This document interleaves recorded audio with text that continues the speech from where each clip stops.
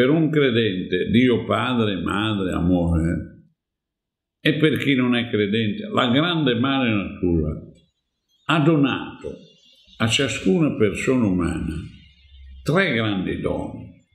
L'intelligenza, cioè intus leggere, leggere dentro le cose. Quindi la distinzione, come mi diceva tanti anni fa Norberto Bobbio, non è tra credenti e non credenti, è tra pensanti e non pensanti. Quindi fai la distinzione tra credenti o credibili. Secondo dono, l'emotività, cioè la creatività.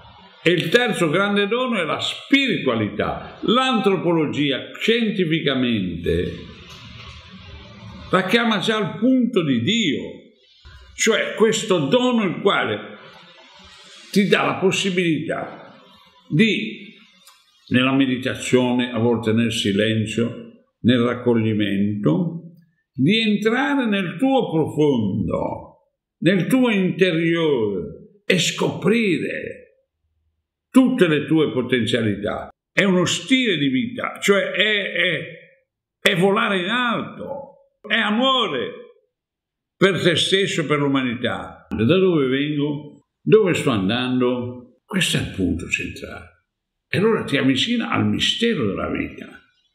E allora ti apre quello che è veramente il tuo cammino.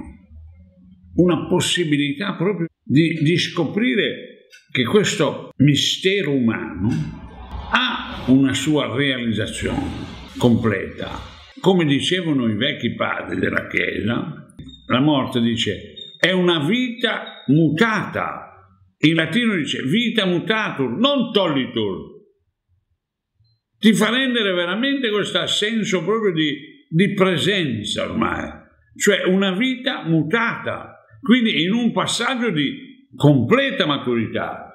La paura è un sentimento reale, non si può cancellare, ma la spiritualità ti aiuta a rispondere al sentimento della paura perché la paura fa anche delle domande e allora questi tre doni, l'intelligenza, l'emotività, la creatività e la spiritualità, ti mette in condizione di rispondere a te stesso, senza lasciarti schiacciare da quello che poi si dice il fatto, il destino, il nulla, il nichilismo.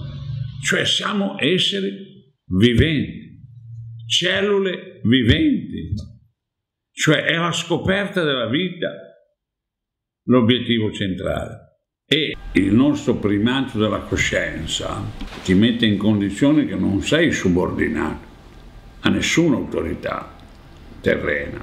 Per esempio la strada cristiana ti mette in condizioni che il tuo rapporto che comincia io e Dio non può che terminare nel noi.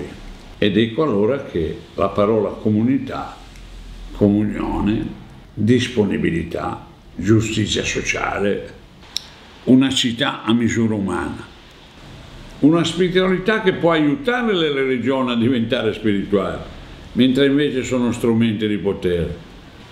E Gesù dice guarda tu cristiano, cristiani, siete sale e il sale non si vede, siete lievito e non si vede lievito, quindi quale autoreferenzialità?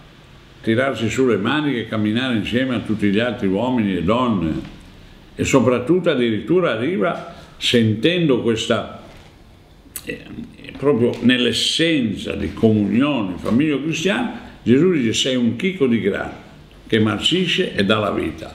Cioè al cristiano, per la difesa dei diritti di tutti, deve essere pronto a dare la vita corporale.